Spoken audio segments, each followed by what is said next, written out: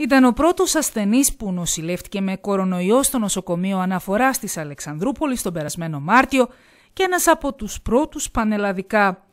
Ο Κωνσταντίνος Κάλιας ανοίγει το σπίτι του στη Δέλτα Τηλεόραση και θυμάται με συγκίνηση εκείνη την περίοδο της ζωής του. Έχουν περάσει από τότε 9 μήνες και είναι μια μακρινή ανάμνηση. Μια ανάμνηση όμως που δεν θα φύγει ποτέ γιατί όντως ε, το ότι ήμουν το πρώτο κρούσμα εδώ της περιοχής ήταν ένα σοκ για μένα, δεν μπορούσα να το συνειδητοποιήσω.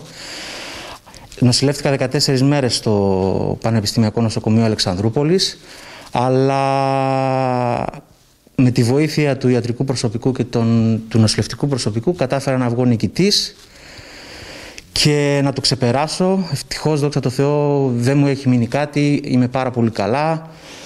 Ε, βέβαια συνεχίζω να προσέχω πάρα πολύ, γι' αυτό με βλέπετε και με τη μάσκα.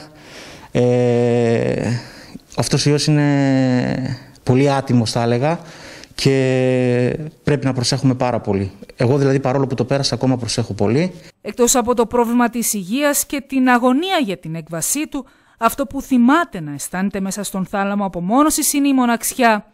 Γι' αυτό δέχτηκε με μεγάλη χαρά να παίξει σαξόφωνο στο προάβλιο του νοσοκομείου την περασμένη Κυριακή, την ημέρα που φωταγωγήθηκε το δέντρο από τον Δήμαρχο Αλεξανδρούπολης. Ήταν μια συγκινητική βραδιά για μένα γιατί είχε ένα υψηλό συμβολισμό πιστεύω η παρουσία μου εκεί. Κατάφερα να βγω νικητής από τον κορονοϊό, επέστρεψα με το σαξόφωνο μου αυτή τη φορά, προχθές, και έπαιξα τις μουσικές μου και θέλω να πιστεύω ότι έδωσα μια ελπίδα σε όλους τους ασθενείς που βρίσκονται εκεί πέρα. Ε, μια ελπίδα και μια αισιοδοξία ότι μπορούν να βγουν νικητές. Ε, ελπίζω να τους έδωσα λίγες στιγμές χαράς. Αυτό το μικρό μπόρεσα να προσφέρω με την τέχνη μου, με τη μουσική μου και είμαι πολύ χαρούμενος για αυτό που συνέβη προχθές στο νοσοκομείο. Επί δύο εβδομάδες γιατροί και νοσηλευτές τον φρόντισαν, στάθηκαν στο πλευρό του και τον βοήθησαν να ξεπεράσει τον ιό.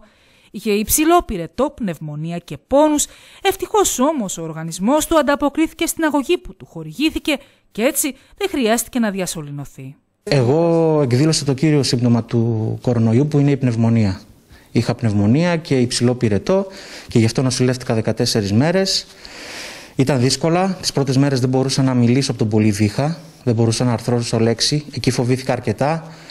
Αλλά ευτυχώς ε, οι καθημερινές εξετάσεις που μου κάνανε οι γιατροί εκεί πέρα ε, πηγαίναν καλά και μου δίνανε αισιόδοξα μηνύματα ότι πάμε καλά. Φυσικά και φοβήθηκα, δεν ε, μπορώ να το αρνηθώ αυτό.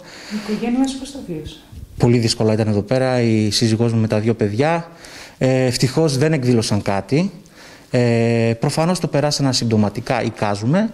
Ε, ήταν μια πολύ δύσκολη περίοδος, αλλά είχα συμπαράσταση όλους τους φίλους και τους γνωστούς, οι οποίοι με συμπαραστάθηκαν πάρα πολύ, μου δώσαν πάρα πολύ δύναμη και βέβαια πρέπει να αναφέρω σίγουρα το, τους γιατρούς και τους νοσηλευτές και τις νοσηλεύτριες που πραγματικά εγώ τους θαύμασα εκεί πέρα. Με κίνδυνο τη ζωή τους μπαίνανε μέσα σε ένα θάλαμο απομόνωσης, ντυμένοι θα έλεγα σαν αστροναύτες, να με φροντίσουν.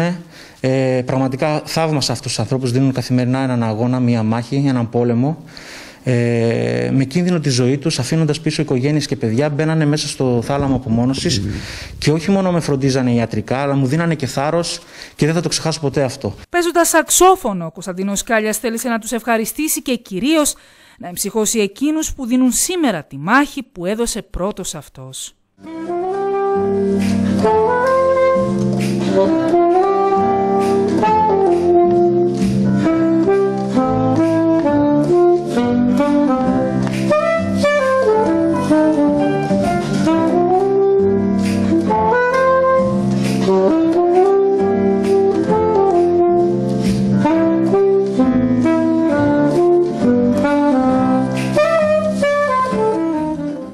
14 μέρες μόνο στην απομόνωση.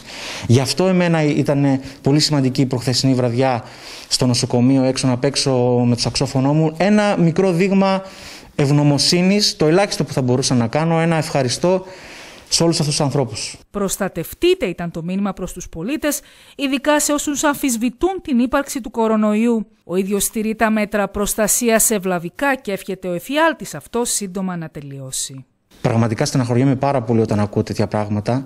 Ε, και η σκέψη μου είναι στους γιατρούς που δίνουν εκεί έναν πόλεμο. Έχουμε καθημερινά 100 νεκρούς και δυστυχώς ακόμα υπάρχουν αυτές οι φωνές. Ε, στεναχωριέμαι πάρα πολύ. Αυτοί οι άνθρωποι που δίνουν τον πόλεμο αυτό εκεί, οι γιατροί, αναρωτιέμαι τι θα σκέφτονται όταν ακούν αυτές τις φωνές. Στην αρχή ίσως ήταν δικαιολογημένες, γιατί δεν ξέραμε τι είναι αυτό το πράγμα, αυτός ο ιός. Αλλά πλέον τα νούμερα μιλάνε από μόνο τους.